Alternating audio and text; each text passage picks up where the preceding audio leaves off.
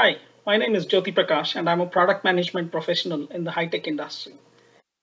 While there are many great things about Sandeep and his coaching, three things in particular stood out for me. First, his insistence on challenging the status quo, aiming higher, and setting stretch goals. He convinced me very early on that I had the potential to score really high, and he challenged me to eventually end up with a score of 760 plus. And I was able to do that thanks to his coaching. Second, I think Sandeep's training did a great job of striking the right balance between grounding you on the basics and concepts and teaching you that street smartness you need to truly crack the exam. For example, things such as how best to time the exam, the importance of the first few minutes and questions, what kind of questions to avoid or skip, maybe towards the later part of the exam, so on and so forth.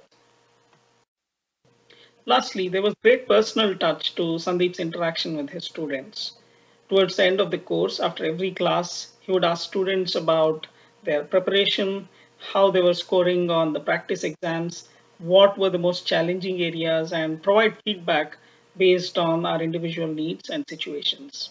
I strongly believe that his coaching was instrumental in helping me score 770 on the GMAT, and as a result, get admitted into the Ross School of Business, University of Michigan.